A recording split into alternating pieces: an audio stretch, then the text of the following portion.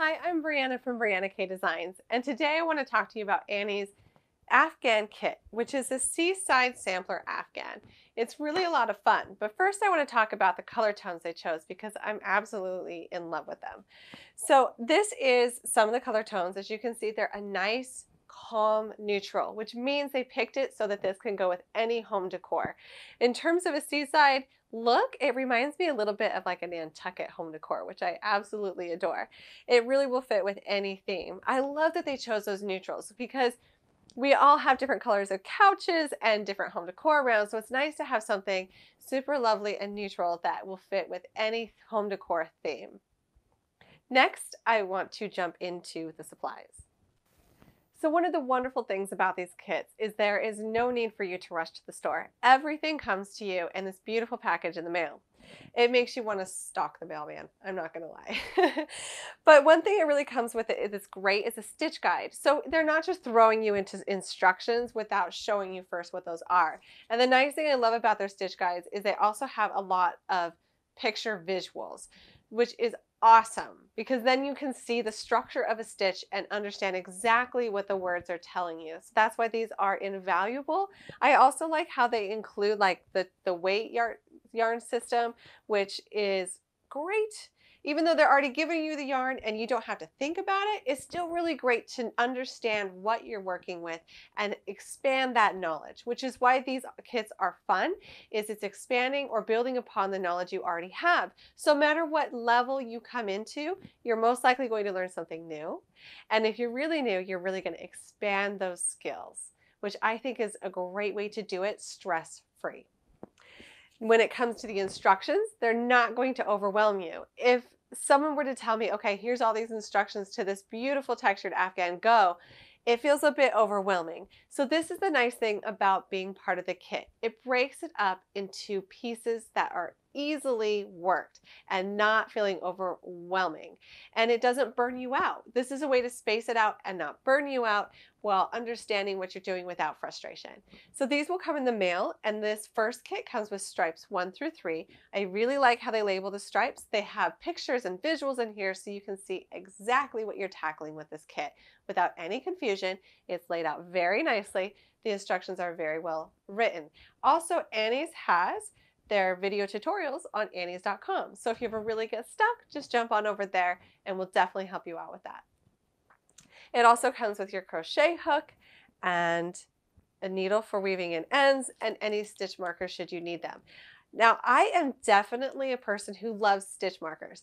While sometimes I do like to live life on the edge, when it comes to crocheting, I'm definitely a safety person where if I'm not sure of something, I'll throw a stitch marker in to either keep track of the first stitch in the round or where the directions say. It's a great way to understand what you're doing and lessen the confusion. But there's enough stitch markers in here to work on other projects too, so it's kind of a nice little bonus. So I'm kind of giggling at myself here because as I'm working up a little swatch to show you one of the stitches is used in stripes one through three, I was looking at the, the photo here, this nice photo, and I was looking at the edge of the blanket and it's a really nice edge. I really like the border and how they finished it off, but I don't have that kit yet. So I'm super curious what stitch it is that they use. I think I know, but I'm not 100%. So of course now I'm super excited to keep doing this Afghan so that I can um, see what each stitch is worked because even as a designer I look at some of these stitches and I think I'm I'm pretty sure I have not done a few of them which is super exciting because I love to learn new things too and that border is really pretty like kudos I really like how that border is finished off so as I'm working through this um, this will not be the full instructions because it's an Afghan which is quite long it would be hard to get that into this video you'd be watching me crochet for a while so I want to show you just what you need to know. So I am working my first row of half double crochet stitches. You'll need to chain and do the amount that you need in the instructions to do the Afghan, but we're going to do a small tidbit here so that when you get to this part, you will be flying with your crochet hooks and you will know what you're doing. So a few more here and I want to show you. What we're going to be doing with this next row is we are going to be working into what's called the third loop. If you haven't ever heard that term before, it's really, really fun and it's not scary. I think that some people have some confusion with it, but once they see a visual, which is in here, or they see someone do it, they're like, oh my gosh, that's so, that's so fun and so simple. So I want to show you how to work into the third loop of a half double crochet. I've turned my work so that the side that we are working is facing you. That way we can see what stitch construction we're doing. Now normally when we work a half double crochet, we would simply go through both of those V stitches on top and work it as normal, but that's not where we're going to insert our hook. The reason why it's called a third loop is because when we're working a double crochet stitch, on the opposite side of where we're working, there is another loop on the back. That's the loop we're going to go through. Since we've already turned, that loop is facing us. So instead of entering through the V part of the stitch, we're simply going to insert into that third loop on the front. This creates a nice effect on the other side that almost looks knit. So if you've ever seen people have a beautiful knit stitch, that's how they do it in crochet, is they manipulate sometimes through that third loop. So once again, in yarn over, and instead of going through both of those loops, those V's, we are simply going to insert our hook into that third loop on the front and complete the half double crochet. So it's really the same, like you're doing the half double crochet the exact same way you've always done. It just changes the look a lot by going into that third loop on the front. And let me show you what's happening on the back here.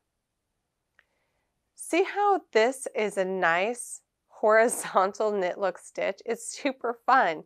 By going into that third loop, it pushes the, the V stitches towards the front of this work and creates a really nice texture. Now let me show you what happens on the next row after this. So I've completed working in the third loop that was facing me. So we were working on the third loop that was in front of the work, in front of the stitch. But now on this next row, we're going to be working the third loop on the back. This one can feel a little bit tricky at first, but let me walk you through it. This are this is the top of our stitches, the V stitches that we can see here. And we can see the loop on the front here, but we want to work it through the back. So we will yarn over and instead of going through both of the V stitches, we're simply just going to look for the very next loop. So sometimes you kind of have to turn your work a little bit towards you to find it, but it's just simply the very next loop that's on that back side past the normal V stitches that you would work through. So see, instead of working through both of the loops like normal, I just want to find the loop that's directly next behind those. That's why it's called that third loop. We're skipping the first two loops and we're going for that third. And what this does is you can see once again, it's doing it a little bit differently this time, but it's making our top V stitches pop towards us, which creates that really nice textured knit look stitch. It's a lot of fun to do. And the only thing that is a little bit tricky at first is just understanding that third loop. But now that you do, you definitely should try this out on the Afghan. Get the instructions. I like the images that show you what the stitch will look like, and then you simply just follow along. And it's, it's a little bit slower than doing your normal half double crochets because you've got to turn and find that loop, but that's part of the fun of learning a new stitch is seeing how it works up. So who knew by doing the half double crochet just slightly different, you can have a completely new look, which is really nice for texture. Now this was only one of the texture stitches that are in your very first kit of rows one through three. There's two other really nice texture stitches to work through. And if you're a beginner, I want you to understand this is super important that this is not something to be intimidated by. This is for you. I think there are times where I will see a big project and I think, oh no, I don't, I don't have those skills. I can't do that. But the point of these kits are you don't need to have those skills yet. You can learn them. And if you are an advanced crocheter, you can expand upon them or simply enjoy working different combinations of texture stitches to see the unique result in one Afghan. And if you really like your Afghan and you've completed it when you're done and you want to do it again, the nice thing is you can go to Annie's.com and they have this nice squishy yarn that they can simply send you more. So you can always like try again with mixing up the colors to maybe customize it for yourself, but all the yarn can be ordered on Annie's.com. So I could see me really enjoying this project and wanting to make it again, maybe mix up the colors to something else, or simply do the same one.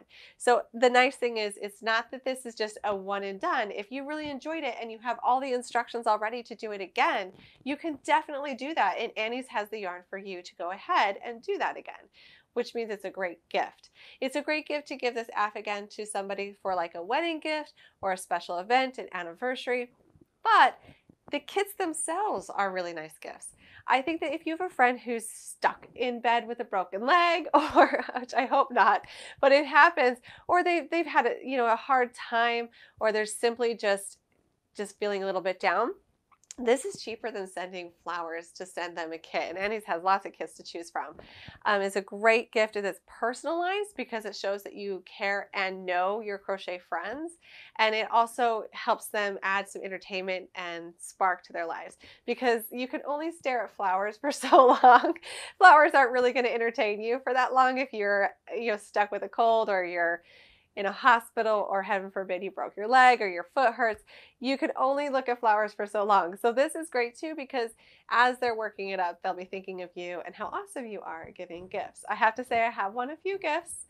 Um, I win in the gift category, I'm just kidding, but you can win too. This is a great one and super easy because you don't need to go to the store and do gift wrapping or spend a ton of money having a flower delivery service deliver.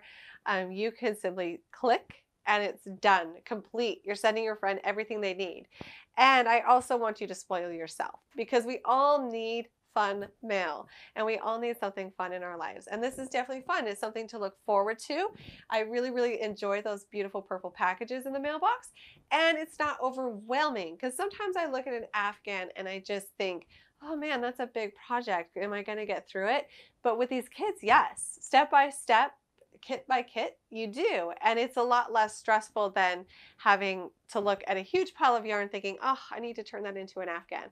This is less thinking, more crocheting, which is a lot of fun. I really have enjoyed it. And I hope you enjoy this kit too.